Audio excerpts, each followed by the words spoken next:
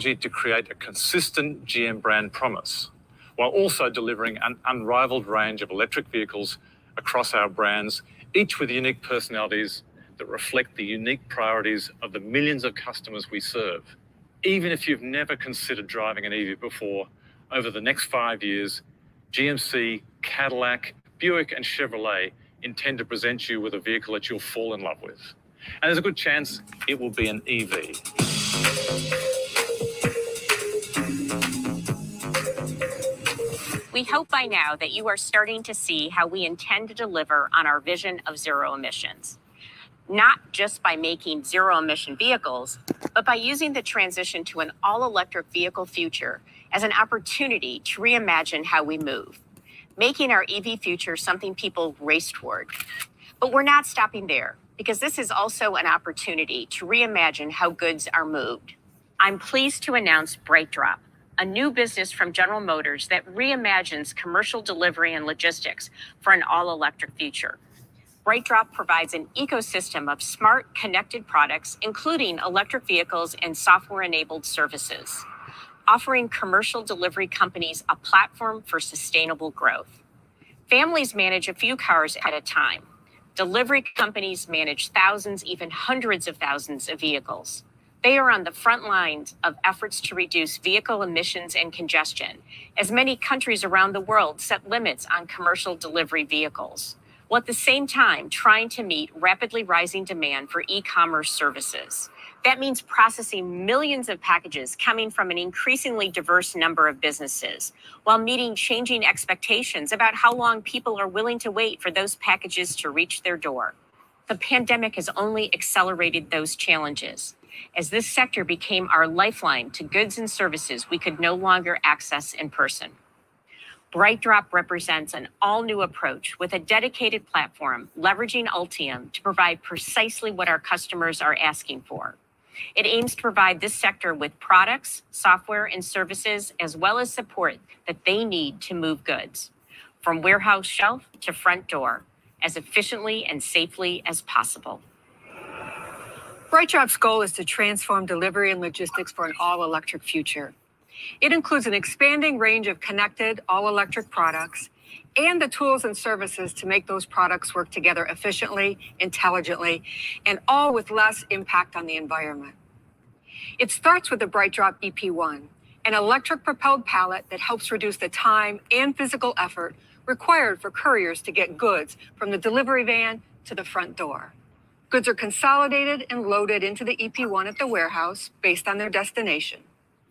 The BrightDrop mobile asset management platform connects to the EP1s, so key information like location, battery status, and more can be viewed remotely.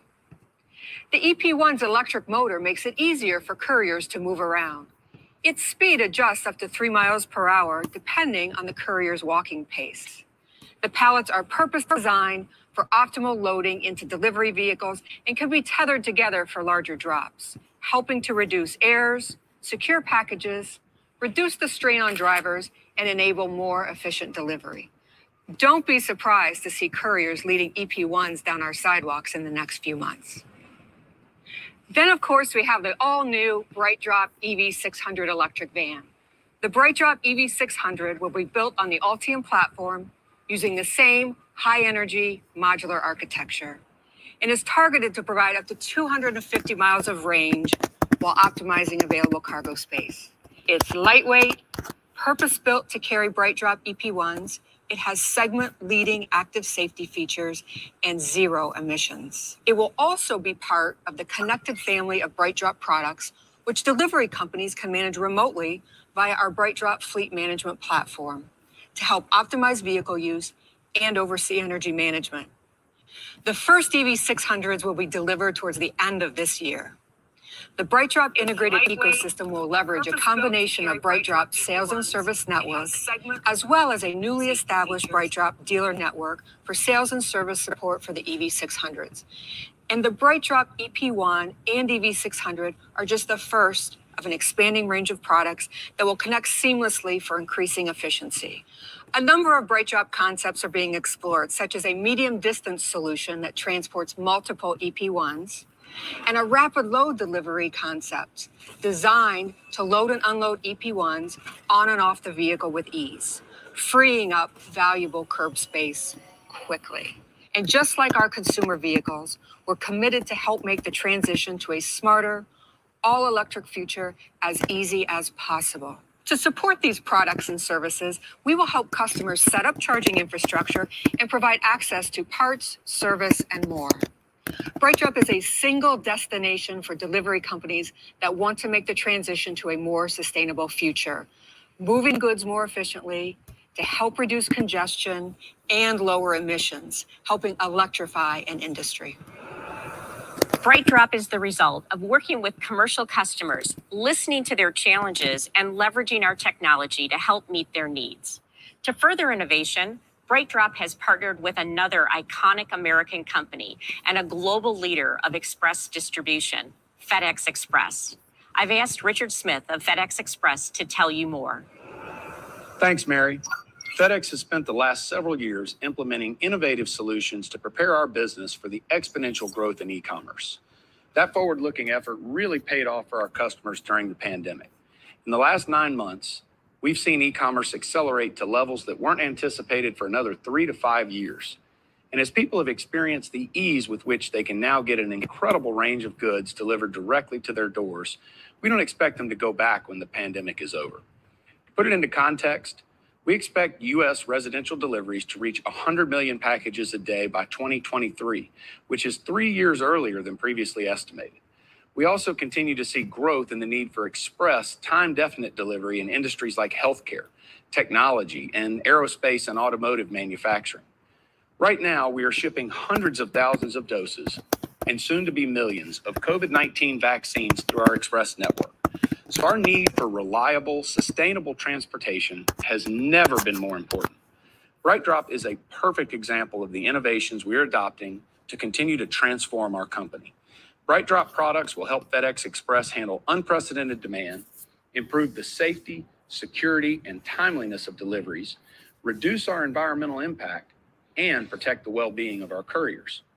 In an initial pilot we ran with the BrightDrop EP1, our FedEx Express couriers were able to effectively and safely handle 25% more packages per day.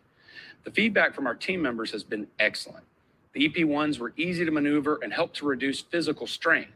We're so pleased we have a second EP1 pilot planned to take place this quarter, and we're expecting the results to be even more impactful. We are also planning to add to our existing electric vehicle fleet by partnering with BrightDrop to introduce the EV600s to our lineup.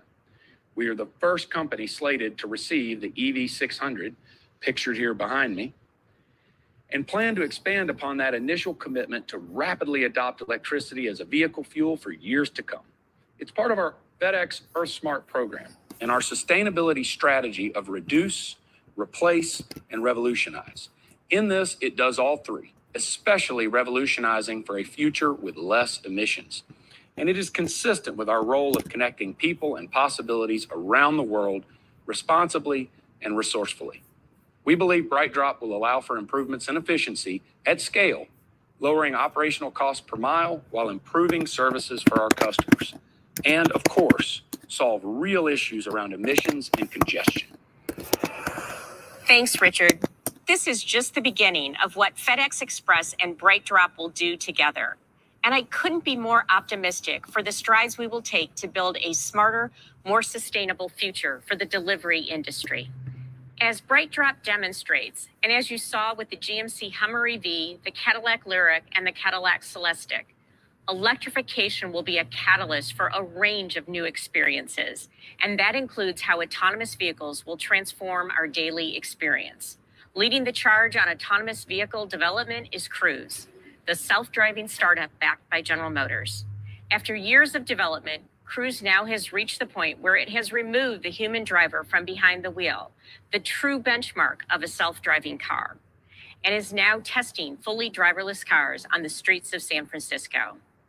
I've asked Cruise co founder Kyle Vogt to give you an update on the incredible progress made by Cruise while the pandemic has been raging all around us. Hi, Mary. Thanks for having me. This is going to be fun. Um, I'm going to start by talking a little bit about what we accomplished in 2020 despite the pandemic, and then what you can expect from us in 2021 and years to come. So, if you roll back the clock to the very beginning of the year, we unveiled the Cruise Origin, which was our first purpose built all electric autonomous vehicle for the rideshare and also delivery businesses. And that was great because it gave us a chance to show the world uh, the vehicle and the platform on which our technology is going to be deployed at scale to unlock all the great benefits of autonomous vehicle technology. And after that, we announced that this vehicle, Cruise Origin, is going to be built at Factory Zero, which is GM's plant uh, dedicated to building vehicles powered by Ultium battery technology. And that's important to us because we're not really interested by the potential impact that a couple hundred vehicles can have in one city. That's nice, and I'm, even if those vehicles are doing great things. But what matters to us at Cruise and, and for our mission is to use Factory Zero to build tens of thousands or even hundreds of thousands of Cruise origins so that all those vehicles can be out there touching people's lives with a form of transportation that's uh, safer and more affordable and more accessible. And so that's what we're looking forward to with Factory Zero. And then, of course, later in the year, uh, roll the clock forward a little bit and the pandemic hit um, we took a look at ourselves and the company and, and thought about what we could do. And we decided to repurpose our fleet to deliver food for communities in need in San Francisco. And so we found two local organizations, the SF Marin Food Bank and SF New Deal, and repurposed our fleet to do deliveries. And to date, we've done over 140,000 meal deliveries. And that's awesome. That makes us feel really good at Cruise. Uh, and even though that's a big number, we know it's just the tip of the iceberg uh, for the potential impact that positive, the positive impact autonomous vehicles can have on our communities.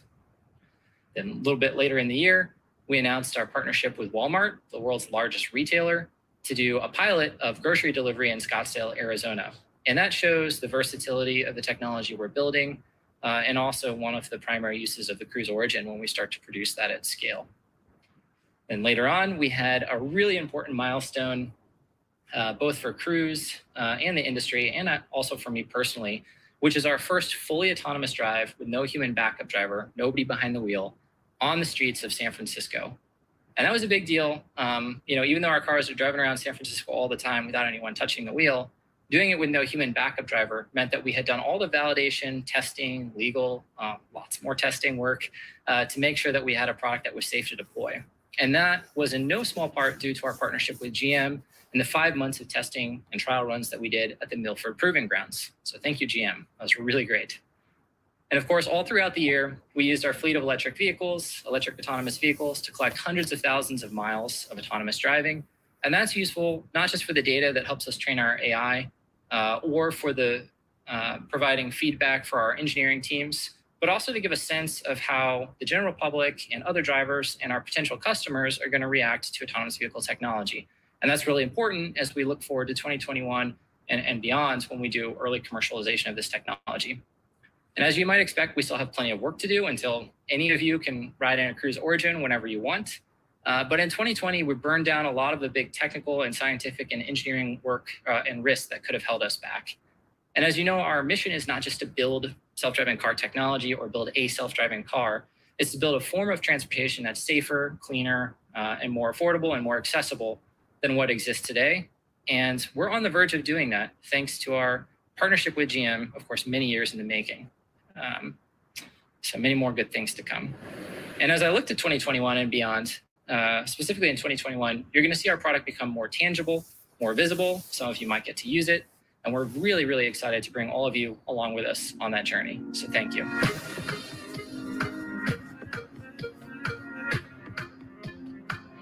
Hope that what we've shared with you today gives you the same confidence and excitement about our future of electric and autonomous vehicles that we all share at General Motors. Confidence that the pieces are now in place, and excitement for the prospect of a world that is more personal, moves better, and contains experiences none of us have ever had before. And all of us will be able to enjoy. And there's that important word all.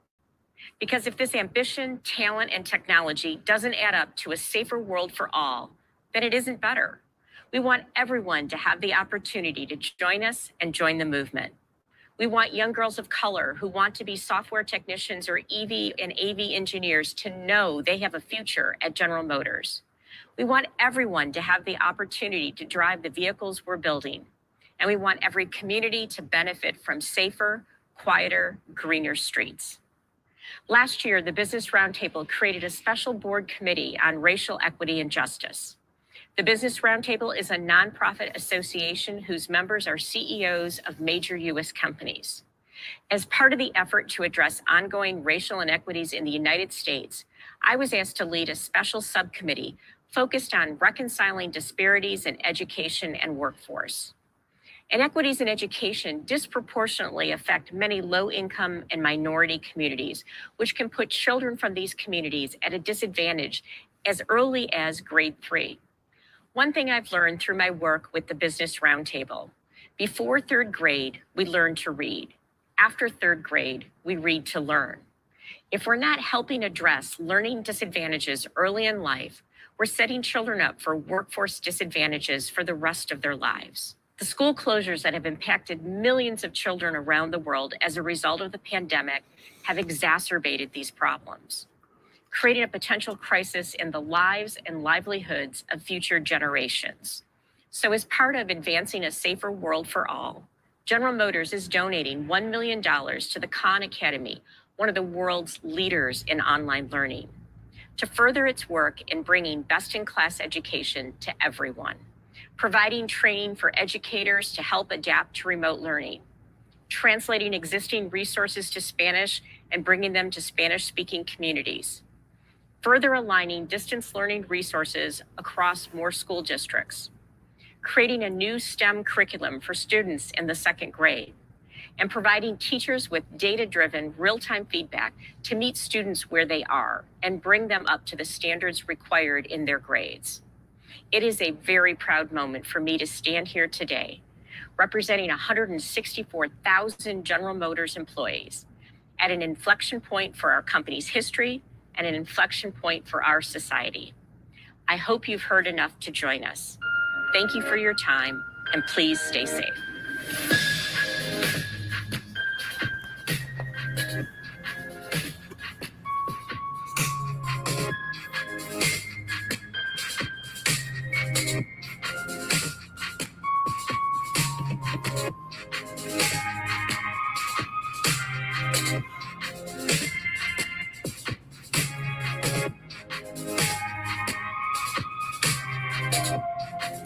Good morning, everybody. That was a fantastic presentation by General Motors CEO Mary Barra uh, for CES 2021. It's very exciting.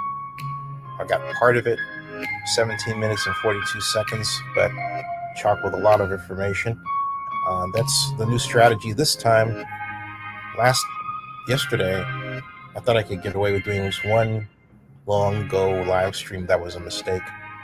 I'm going to go back to the more pointillist approach that reflects past years of CES coverage. So stay tuned and subscribe to Zennie62 on YouTube and bookmark Welcome back, Rich DeMuro here, oh, along here are with my Justine favorites. Zarek here in the studio for what. CES 2021, where we just Don't know Rich, the but I know Motors Justine. keynote, and this was a big one, Justine. It really was. It was incredible. Some really compelling stuff. I'm floored at how quickly we're moving towards those zero emissions, and also, did we just see a flying So you know car? what, folks? It's kind I'm of going to uh, really. It's something that we've all I'm expected. going to that freeze would have them been out, here a long time ago. but and just the fact we're that they're gonna talking about go doing back and taxis we're and that gonna kind of talk thing. It's like more how can we just utilize about, this um, airspace that is available? I'm going to to find other things to go into car right since now. the Okay. Jetsons, and Mhm. or At sorry, CES the flying car since the Hey, Jetsons. thanks a lot. too. We'll see. Yeah. Uh, one of the